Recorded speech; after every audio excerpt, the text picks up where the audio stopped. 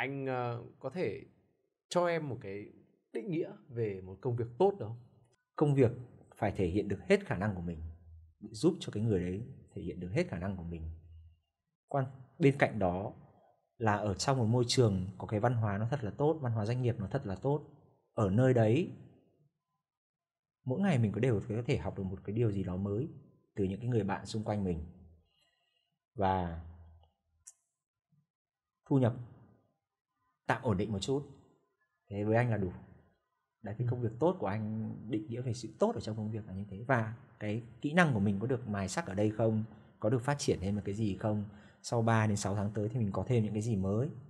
Đấy là câu hỏi luôn anh luôn luôn đặt ra khi mà anh muốn uh, thay đổi công việc chẳng hạn. Tức là một công việc tốt bây giờ nó có rất nhiều yếu tố và rất cân nhiều bằng. yếu tố càng mình mình càng trưởng thành thì nó càng nhiều yếu tố. Nó có nó nó nó nó, nó tác động ở mình. Ngày xưa thì từ 5 triệu thì lên 7 triệu. Thôi ừ. năm sau ờ, đi làm năm sau cố gắng được năm 7 triệu. Cho mẹ được uh, đóng tiền ăn cho mẹ được một triệu. Ừ. không phải xin mẹ. Đấy, xong bắt đầu dần dần lên từ 7 triệu lên 10 triệu đến 12 triệu. Ra trường còn thất nghiệp cơ mà. Ra trường đi học ờ, đi du học về còn thất nghiệp nằm nhà bao nhiêu những cái thứ đấy bao nhiêu lần trải qua như thế thì cái tư duy của mình về công việc cái nhìn nhận của mình về cái sự kiếm tiền nó, nó mỗi mỗi năm nó lại một khác. Không ai nói hay được không ai nói hay được. Cái đấy là cái điều đặc biệt nhất của cuộc đời một con người. Cứ mỗi năm mình lại thấy cái góc nhìn của mình nó thay đổi đi một chút. Cái định nghĩa của mình nó dần dần ừ. ngày xưa tôi rất là bias cái này dần dần không. Ok mà cái này cũng được. Cái quan điểm mình về công việc mỗi năm vẫn khác. Quan điểm mình về ờ, như thế nào là tốt như thế nào là chưa tốt, mình có mắc sai lầm gì không, hay là mình có, gọi là, có làm điều gì tốt không, hay điều gì chưa tốt hay không, nó vẫn cứ khác. Năm nay mình nghĩ này là tốt, như này là đúng, nhưng sang năm có khi là kết quả chỉ ra là nó sai bét, và mình lại phải tiếp tục chấp nhận cái chuyện đấy, và mình lại tiếp tục thay đổi. Và trong cái quá trình đấy em nghĩ là sau sau rất nhiều những cái cái thay đổi, những cái bước biến chuyển đấy thì em cảm thấy là cái đấy mới thứ, là thứ khiến cho em cảm thấy happy. Anh tạm gọi cái việc ngày xưa anh đi đứng bán cái di động đấy là việc chân tay, đúng không? Anh về sau anh còn mở quán cơ mà mở quán cà phê cơ mà. Ừ. ờ, đi làm cái ngành dịch vụ đấy giúp cho mình nhìn nhận thế giới nó khác. Cái cách mình phục vụ với cả khách hàng là thượng đế nó khác có nhiều thượng đế lắm. Đi làm đi làm những cái ngành đi làm những cái ngành nghề như thế. Um, ở cái làm nghề điện thoại chẳng hạn thượng đế của mình là những cái một một một một cái giới nó tạm gọi là là khác anh em xã hội cũng nhiều. Uh, đi làm cái ngành uh, bán cà phê thì lại là tiếp đón những cái vị khách nó khác. Có những người đòi hỏi thế này có những người đòi hỏi cái kia. Vợ chồng anh còn bán ở chợ đêm. Ừ. ở số 5 hàng đào. Ừ. bán nước ở, ở đấy vốn bỏ ra là 750 nghìn. Ừ. và có thể thu được khoảng 3 đến 4 triệu một tối. Nhưng mà ở cái thế giới đấy mình lại nhìn thấy là những cái thứ mình đã nghĩ về về marketing về branding của mình ra đến đường phố nó vứt vào sọt rác. Bày biện nó không ra cái gì cái là vứt vào sọt rác ngay chả có ai mua cả thế ông lại phải đập bỏ cái định kiến ấy đi một lần. Lại phải ok thôi ế hôm đấy rồi lại phải rủ nhau đi quanh là xem người ta ở đấy người ta bày biện như thế nào người ta trăng đèn ra làm sao người ta bán như thế nào. Ở thế giới đấy là người ta đánh nhau vì một nửa viên gạch để em bày bày hàng. Nó có phức tạp không? Ừ. mọi người mọi người đừng bao giờ có những cái ánh mắt coi thường về những cái người làm công việc chân tay hay dịch vụ. Và anh khuyên các bạn sinh viên hoặc là các bạn trẻ nên bắt đầu thử mình ở trong cái nghiệp này. Em có phục vụ người ta không ừ. thì lúc đấy thì em mới đi em phục vụ. Em mới đi làm những cái thứ khác này em có cách nhìn khác về con người nó khác hẳn. Cách em tiếp cận đồng tiền nó khác hẳn. Đang làm đứng 17 nghìn đứng B cà phê một tháng 20 nghìn một tiếng. 20 nghìn một tiếng 17 nghìn một tiếng. Xong rồi đi ra kia ăn một cái bánh mì hết 25 nghìn rồi. Thấy các công sức của mình nó như thế nào chứ đúng không? Kiếm ừ. đồng tiền nó lúc đấy nó mới nó mới vất vả chứ vừa với buổi sáng ra có ông bảo là em ơi cái máy ăn trộm này bán bao tiền đấy? Chẳng hạn. Là mình có nên đấm khách lúc đấy hay không thì mình cũng phải mình cũng phải tư duy đúng không? Hoặc là có mấy anh xăm trổ vào buổi tối chẳng hạn. Lúc đấy hỏi mà là máy này máy kia? Thì lúc đấy là tay mình vừa mới đưa hàng mình cùng một thằng bạn nữa đứng đấy vừa phải trông hàng vừa phải nắm sẵn một số những cái công cụ hỗ trợ ở bên dưới để mình xem là mình có đủ can đảm để không hoặc là như thế nào không? Chứng kiến những cái vụ giật máy cướp bóc ở đấy. Xã hội nó là như thế mình nhìn thấy những cái đấy mình có những cái thứ bài học từ những cái thứ đấy thì mình ra đời mình mới nhìn người khác nó kiểu khác được mình đối xử với người khác khác hẳn. Anh đã có những cái ngày mà anh Hà Nội lạnh 90 độ phố đi bộ không có một ai đứng bán hàng đấy cả buổi được à, uh, 20 cốc nước xong rồi ế sưng uh, lúc ấy có buồn không? Lúc ấy mình nhìn nhận thì nó như thế nào? Ngày đấy là ngày thất bại của mình hay hay là ngày thành công? Rồi có những cái lúc mình ngồi văn phòng một tháng một ờ, một tháng kiếm ờ, vài chục triệu. Ở dưới mình là vài chục nhân viên chẳng hạn. Lúc đấy có tự hào hơn cái việc là mình bán được hết hàng ở qua qua một ngày mà mình đi bán nước ở vỉa hè hay không? Câu hỏi là luôn luôn phải đặt phải đặt ra. Phải luôn luôn nhìn thấy những cái thứ mới đấy ở trong cái sự nghiệp của mình mình vùng vẫy ở ngoài kia nó là như thế. Không quan trọng là em làm cái việc gì, em đạp xích lô, em phải cố gắng hết sức trong cái việc đạp xích lô ấy của em. Em đi làm văn phòng, em phải cố hết sức trong cái việc làm văn phòng của mình thời buổi này có rất là nhiều bạn trẻ bảo là em cứ nhảy việc nhảy việc nhảy việc. Anh cũng chỉ khuyên là em đã tiếp cận công việc đủ sâu để em hiểu về cái công việc đấy chưa? Vì thông thường thì một người thường mất đến 6 tháng để hiểu được là đường đi lối lại ở trong cái công ty là như nào. Trên dưới phải trái trước sau nó là làm sao? Anh chị nào đang là nắm những cái thứ quan trọng nhất? Phòng ban nào đang làm cái gì? Vậy ở đấy đến từ tối thiểu từ 6 tháng đến một năm thì mới có hiểu được. À ok những cái thứ văn bản này nó phải di chuyển từ đâu đến đâu đúng không?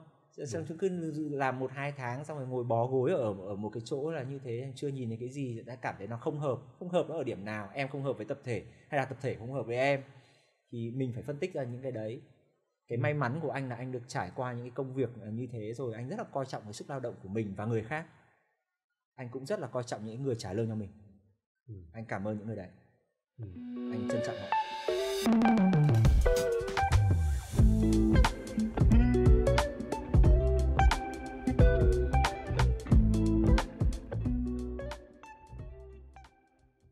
như là bây giờ nếu có một bạn trẻ mà đam mê và muốn theo đuổi rap đi hoặc là có thể là mong muốn theo đuổi trước đã còn sau đây thành nghề hay không thì chưa biết. Ừ.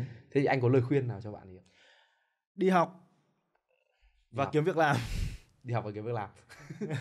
Đấy là lời khuyên đầu tiên luôn. Nghe thì có vẻ đùa nhưng mà thực ra đây là lời khuyên rất nghiêm túc. Bởi vì um, chúng ta không thể khẳng định được cơ hội thành công với rap nó sẽ đến với chúng ta vào năm bao nhiêu tuổi Ừ. Nhưng chúng ta luôn luôn biết là năm 22 tuổi chúng ta ra trường ấy, chúng ta có thể bắt đầu xin việc. Vì thế, để các bạn có thể chạy theo một cái năm, một cái mốc thành công mà chúng ta không biết nó là bao giờ, rất là vô định trong tương lai của âm nhạc, của hip hop, thì chúng ta cần có một cái sự chắc chắn và đảm bảo. Đó là một cái công an việc làm. Tại sao tôi đến bây giờ tôi vẫn theo được cái này? Nếu mà có sẽ có nhiều bạn bảo tôi không thành công. Nhiều bạn sẽ bảo tôi không thành công tôi loser không. Tôi nghĩ là với một người đã lên được TV và tham gia một cái chương trình như thế thì cũng là thành công ở mức độ nhất định đúng không? Nhưng mà khi mà mình tham gia cái chương trình đấy mình 29 tuổi. Thế thì từ năm 22 tuổi đến năm 29 tuổi mình ăn gì để sống được 8 năm đó à 7 ờ, năm đó. Mình phải có công an việc làm, đúng không? Mình phải có công an việc làm. Thì thế lời khuyên thứ nhất của mình, nó không liên quan đến âm nhạc đâu, đó là các bạn cố gắng đi học hoặc đi làm. Các bạn không thích học thì các bạn có thể đi làm nhé nhưng các bạn phải có một cái nghề để nó nuôi sống được các bạn, để trong thời gian các bạn theo đuổi. Theo đuổi đam mê đã. Tại vì theo đuổi là gì? Theo đuổi đó và bạn phải chạy và đuổi theo nó, đúng không? Bạn, các bạn đói, các bạn hạ đường huyết đấy các bạn có chạy đuổi theo được không? Không.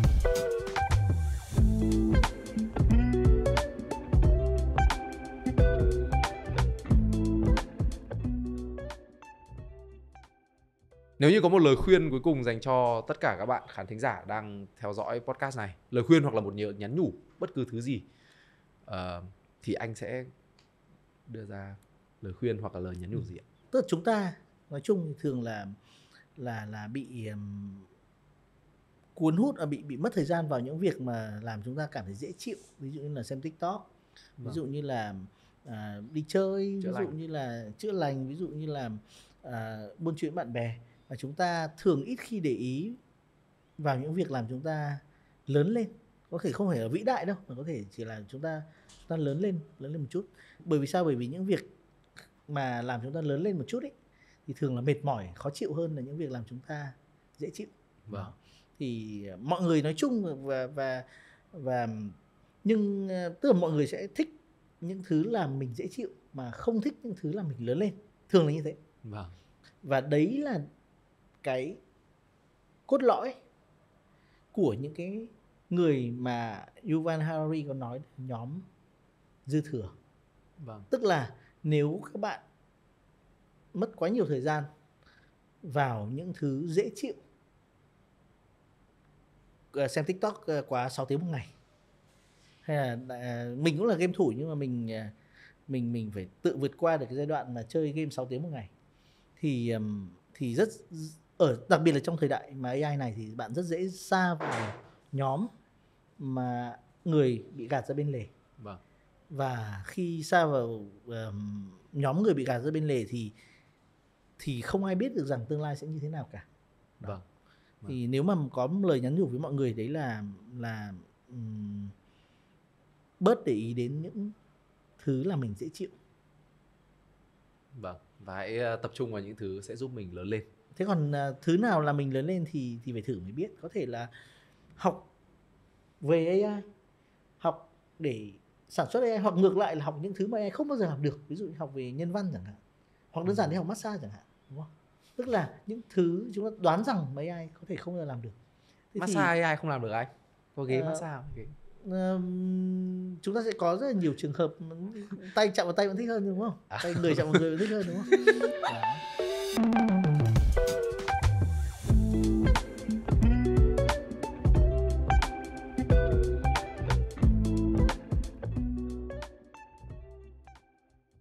Cực kỳ thích cái công việc phát tờ rơi. Vâng. Tại vì anh học là học quản trị kinh doanh mà quản trị kinh doanh nếu mà chỉ trên lý thuyết á nó không có ra được cái kết quả cho cuộc đời của mình. Phải thực tế. Và trong cái việc phát tờ rơi á, nếu như mà em là một người phát tờ rơi bình thường thì nó chỉ là một cái thứ công việc tay chân bình thường. Nhưng nếu như em nhìn vô cái cách mà những người phát tờ rơi chuyên nghiệp họ làm á em học được nhiều lắm. Ví dụ làm sao để mà em phát tờ rơi người ta chắc chắn sẽ nhận và làm sao để người ta nhận xong người ta chắc chắn sẽ đọc. Cái đó là một cái nghệ thuật luôn. Mà cái nghệ thuật đó nó giúp anh rất nhiều sau này khi mà anh làm ngành bán lẻ của Green VC nếu không có cái cái cuộc đời đi làm phát tờ rơi đó của anh lương rẻ bèo rẻ mạt luôn thì anh sẽ không bao giờ có được những cái trải nghiệm đó để mà anh ứng dụng vô cái cái cái chuỗi kinh doanh sau này của anh với Green VC công không. việc đó là một trong những công việc anh thích nhất luôn À. Thì anh có thể chia sẻ cụ thể chút chút nha vâng, vâng, này tiết lộ chút xíu bí quyết nghề là bí quyết nghề. Bí quyết nghề. À, thứ nhất phát tờ rơi phải khiến cho người ta vui. Ừ. mang lại một cái năng lượng tích cực. Anh cực kỳ không thích những bạn đã nhận tiền của đơn vị phát đơn vị người ta nhờ mình phát tờ rơi xong rồi các bạn bịt kính mít gì nè ừ. kiểu như sợ bị sợ bị uh, bị bắt gặp ra. là à tôi làm công việc tay chân nó rẻ tiền này tôi thấy nó không có đẹp nó không có ấy nhưng mà không phải em để ý đi em qua nhật á ví dụ em anh qua nhật đi anh thấy một cái người phát nhân viên đứng phát tờ rơi nha người ta phát xong người ta làm gì ta cười cười mà kiểu một cái cười rạng rỡ kiểu mang cả mùa xuân vô mặt em vậy đó ừ. xong rồi em nhận xong người ta làm gì người ta cúi chào thật là sâu cảm ơn vì em đã nhận tờ rơi cho người ta mà họ được trả cái gì? Họ cũng được trả tiền như bình thường thôi. Vậy thì mà nhiều khi nó là công việc part time công việc bán thời gian thôi. Họ không phải nhân viên của cái cái cái công ty đó còn họ cũng chẳng phải là chủ của công ty đó. Nhưng mà tại sao họ lại làm việc bằng cả con tim như vậy? Khách hàng người ta cảm nhận được cái con tim của cái người đó thì người ta sẽ cảm nhận được trái tim của thương hiệu. Vâng. Thì khi mà về Việt Nam á khi mà ở Việt à, lúc đó anh chưa đi Nhật anh xin lỗi nhưng mà sau này anh thấy Nhật y chang như cái cách anh làm. À, vâng. khi em đưa tờ rơi cho một người em phải cho họ ít niềm vui của cuộc sống. Họ thấy họ nhận được cái niềm vui đó họ mới sẵn sàng họ nhìn vô cái nội dung của tờ rơi. Và à, họ mới sẵn sàng nhận cái nội dung nhận cái tờ rơi đó. Nhưng mà để được họ đồng ý họ dành thời gian của họ để họ đọc cái nội dung tờ rơi em phải cúi chào cảm ơn họ. Và em phải nói cảm ơn anh hoặc cảm ơn chị vì đã nhận. Một câu nói nhỏ thôi nó chẳng mất gì cả. Nhưng mà nó sẽ khiến cho người ta chắc chắn đọc cái nội dung tờ rơi đó chứ không phải là cầm xong rồi quăng xuống đường hay quăng vô thùng rác. Còn một điểm nữa trong cái chuyện phát tờ rơi vâng. một cái góc khuất góc tối của ngành. Vâng ngành. Ngành luôn. Anh gọi là ngành tại vì công việc nào mà mình nhận tiền thì đó là ngành nghề làm việc. Vâng. Thì anh nhớ lúc đó phát tờ rơi là một người bạn trong lớp của anh kiếm ra được cái mối nhận phát tờ rơi chứ không phải anh. Ừ. anh không làm việc trực tiếp là anh làm việc qua bên thứ ba đó. Là, à, tức là anh được được anh bên thứ ba thuê lại vendor supplier thôi á. À, thì bạn của anh nói là ví dụ giờ mày nhận phát 2.000 tờ thì mày phát 500 tờ hơn ngàn rưỡi còn lại mày sẽ bỏ thùng rác. À. anh cực kỳ phản cảm với chuyện đó. Ừ. thứ nhất doanh nghiệp bỏ tiền ra để làm cái tờ rơi. Doanh nghiệp thứ hai doanh nghiệp bỏ tiền ra để in cái tờ rơi đó. Thứ ba họ đặt kỳ vọng vô chuyện tờ rơi đó sẽ mang lại khách hàng cho họ. Mình nhận tiền của họ để mình thực hiện cái cam kết của mình với họ. Thì không nên ma mảnh như vậy tại vì ngoài cái chuyện là làm như vậy là sai về mặt uh, luân thường đạo lý là mày nhận bao nhiêu tiền thì mày phải trả lại bấy nhiêu công sức thì nó còn là cả một cái tư tưởng nữa là làm cho có như em nói ừ. không nên như vậy bởi vì nếu tôi làm như vậy với bạn thì sau này một ai đó sẽ làm điều đó với tôi. Doanh nghiệp của tôi sau này khi in tờ rơi ra và thuê người khác phát tờ rơi sẽ có những người cũng quăng cái tờ rơi của doanh nghiệp của tôi vào trong thùng rác tôi có muốn điều đó không? Tôi không muốn. Thế thì đừng làm như vậy với lại cái người thuê tôi lúc này. Tại vì bây giờ anh đi đường anh vẫn lâu lâu anh vẫn thấy có những cái bạn cầm một sắp tờ rơi bự như vậy nè dày như vậy nè mấy trăm mấy ngàn tờ quăng vô trong thùng rác. Quăng quăng thùng rác ven đường thôi anh nói. Nữa rồi. Lại là ừ. một cái góc tối mà nó bao nhiêu nay mình chưa có thể nào mình triệt gọi là mình bỏ được nó ra khỏi suy nghĩ của những người sinh viên đầu đời những công việc đầu đời. Vâng. Thì hôm nay kể đây giống như cũng ờ, mong muốn sau đó để mọi người nhận ra được là à nếu tôi làm vậy với người khác nếu cô không phải là nhân, luật nhân quả gì cao siêu á tôi làm vậy với người khác thì có thể sau này có người khác làm vậy với tôi. Tôi không muốn thì tôi đừng làm.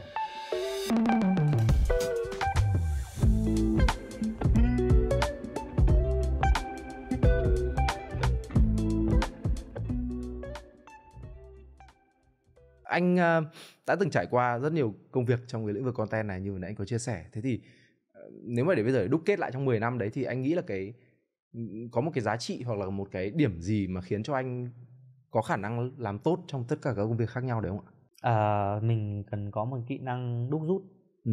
bởi vì rằng là uh, người ta hay nói rằng là cuộc sống phải có va chạm nhiều phải có trải nghiệm nhiều nhưng anh nghĩ rằng là cái trải nghiệm ấy, nó sẽ không có giá trị gì nếu như mình không có khả năng tinh lọc đúc rút nó ừ. Nó giống như mình cầm một cái rổ mình đi múc nước ấy. Vâng. thì trải nghiệm cũng thế nếu như mình cầm cái rổ mình đi múc cái nước đấy thì nó sẽ trôi tuột hết đi.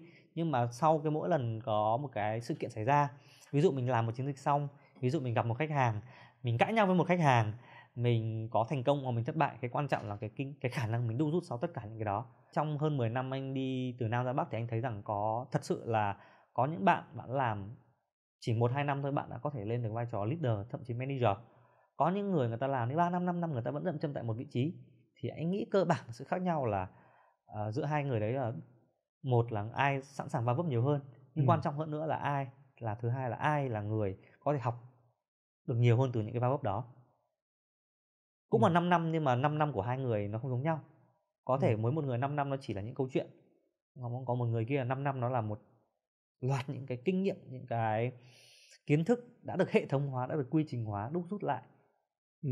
thì hai cái hai năm năm đấy nó khác nhau hoàn toàn ừ, em hiểu tức là thực ra để mà nói về câu chuyện hệ thống hóa và kiến thức tức là học được nhiều nhất có thể từ các trải nghiệm đi thì theo anh có một cái um, cái cách thức nào hoặc là anh anh tự anh áp dụng nhé ừ. hoặc là anh nhìn thấy là làm nào để tức là ví dụ tôi tôi với bạn cùng trải qua một sự kiện thế nhưng ừ. mà làm nào có thể đúc rút nhiều đúc rút được nhiều hơn và giữ ừ. lại cho mình nhiều hơn có một cái kỹ năng nó rất là đơn giản nhưng mà anh không biết nói này có quá không mà nó có thể mang lại một kết quả rất đột phá vâng. cho tất cả mọi người anh nghĩ là cho tất cả mọi người đó kỹ năng viết. Thế thì ờ, khi bạn trải qua một cái điều gì đó thì bạn đơn giản là bạn ngồi bạn viết nó lại. Ừ. bằng nhưng mà không phải viết theo kiểu nhật ký đâu nhá. À, không phải viết theo kiểu là ngày hôm nay tôi đến gặp Việt Anh buổi sáng Việt Anh mời tôi cốc nước buổi chiều với tôi kết thúc buổi gặp vào lúc 11 giờ. Không phải như thế. Mà mình sẽ phải viết dưới dạng là những câu hỏi. Những câu hỏi rất là cơ bản thôi. Hôm nay tôi đã trải qua việc gì? Làm thế nào để nó tốt hơn? Những câu hỏi rất cơ bản như vậy và mình ngồi mình viết nó ra không phải là mình ngồi nghĩ. Ví dụ như hôm nay anh đến gặp em thì à, giả sử chúng ta có một cuộc hẹn thế làm sao để cuộc hẹn đấy lần sau nếu như mình gặp một người giống như Việt Anh ừ. làm sao để cuộc hẹn đấy nó chân chu hơn? Làm sao để mình dùng ít câu từ hơn mà cuộc hẹn đấy nó vẫn diễn ra tốt đẹp hơn? Ừ. đấy hoặc là khi mà mình đến gặp Việt Anh rồi thì hôm nay mình chào nó như thế nào mình bắt tay với nó ra làm sao? Thế thì lần sau nếu như mình gặp một người khác kiểu kiểu như vậy thì làm sao mà để có một cái bắt tay nó thuận lợi nhất thì anh lấy câu chuyện của cái bắt tay đấy ra để anh nói rằng là trong mọi thứ trong cuộc sống mình đều phải học mình đều phải cải tiến từ những cái rất nhỏ như một cái bắt tay như một câu chào như là một uh, câu nói mở đầu. Mọi thứ mình đều phải học. Thì suy rộng ra thì đấy là một việc rất nhỏ. Suy rộng ra thì những việc lớn ví dụ như mình phân tích một chiến dịch mình bàn bạc trong một cuộc họp mình giao việc cho một nhân sự mình phản biện với sếp của mình tất cả mọi thứ nó là những kỹ năng nó phức tạp hơn thì mình càng phải ngồi mình viết nó ra bằng một câu hỏi là hai câu hỏi thôi. Hôm nay mình đã làm gì và làm sao mình mình làm nó tốt hơn? Mà đặc biệt hơn nếu chi tiết nữa thì phải làm tốt hơn về khía cạnh gì? Ví dụ như kiểu hôm nay chúng ta có một cuộc họp mình ngồi cãi nhau với sếp chẳng hạn. Thế thì câu hỏi đầu tiên là hôm nay mình đã làm gì? Là hôm nay có một cuộc họp đúng không? Câu hỏi thứ hai là làm sao để làm tốt tốt hơn thì mình phải chi tiết là tốt hơn trong nhiều khía cạnh. Nếu như mà làm làm sao để mình tốt hơn về mặt trình bày là một câu hỏi làm sao mình làm tốt hơn về cái mặt gọi là sắp xếp để cái không khí cái buổi họp này nó đỡ căng thẳng về mặt đối nhân xử thế đấy. À, câu hỏi thứ ba là làm sao để mình làm tốt hơn về mặt hiệu quả? Ừ. tức là mình chia nhỏ cái mục tiêu tốt hơn đấy thành các mục tiêu con. Thế thì nếu như mỗi ngày mình đều nếu như mình gọi là mình si đa nhất mình không có thời gian mình viết đi thì mình ngồi nghĩ. Nhưng mà từ việc nghĩ đến việc viết nó là hai cái level rất là khác. Đã mình ngồi nghĩ về những việc đó nó đã rất tốt rồi nó đã rất tốt rồi nhưng cứ thử các bạn nếu như các bạn đang ngồi xem cái podcast này thì các bạn cứ thử ngồi viết ra mà xem. Nó sẽ cho các bạn một bài học nó rõ ràng và mang tính đúc kết hơn rất là nhiều. Bởi vì ví dụ như anh ngồi anh nghĩ một câu hỏi đó là hôm nay làm sao để làm tốt hơn thì anh có thể loáng thoáng nghĩ ra vài cách đầu dòng sau đó thôi còn trôi vào dĩ vãng thôi nó không nhớ vào đâu. Nhưng khi em viết ấy thì em sẽ thấy rằng những cái giải pháp mình đưa ra thực ra nó chưa đủ tốt đâu. Nó ừ. sẽ yêu cầu mình phải làm rất là sâu. Ví dụ ờ, hôm nay làm sao để mình khiến cho cái không khí buổi họp hôm nay nó đỡ căng thẳng hơn em em nghĩ trong đầu để thì câu trả lời em nó rất là nông, nhưng khi em viết cái câu trả lời đó ra, nó rất là sâu, và thật sự em sẽ học được vô cùng nhiều.